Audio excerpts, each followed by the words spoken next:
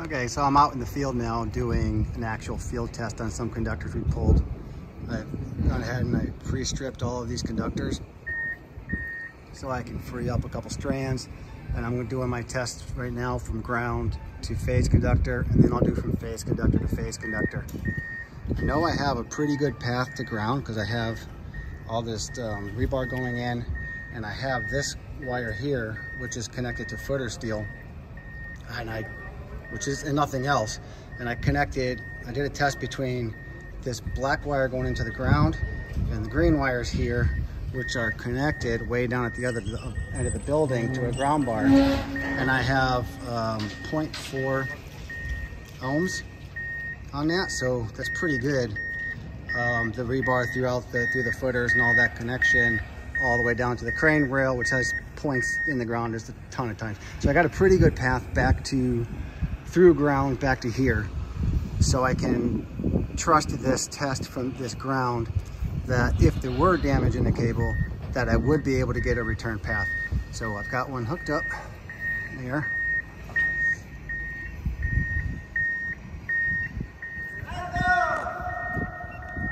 So we get, now it starts out low, still that's a lot of resistance, but I'm in the mega ohm range and then it will build up over time. So I already know this conductor is good because we're over one mega ohm. You know, so I could really, I could end the test now satisfied that this insulation is good.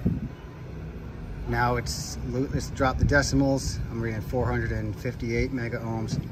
Oops. The last test I finished, I gave it about a minute. And the last test I did, roughly stabilized around 750 mega ohms. So, so far so good.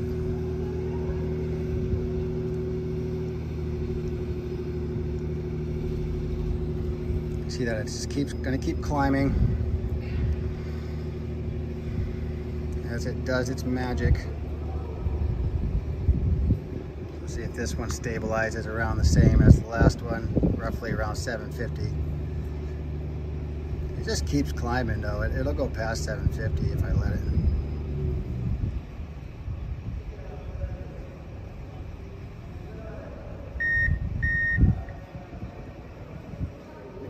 So anyway, this insulation's good.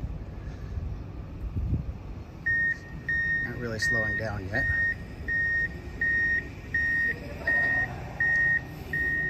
But that's good. So I don't need to keep going to the high range.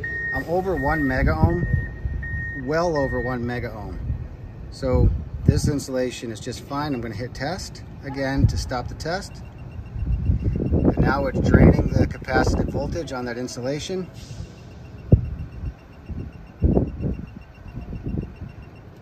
And now it's good. Now I can do the next test.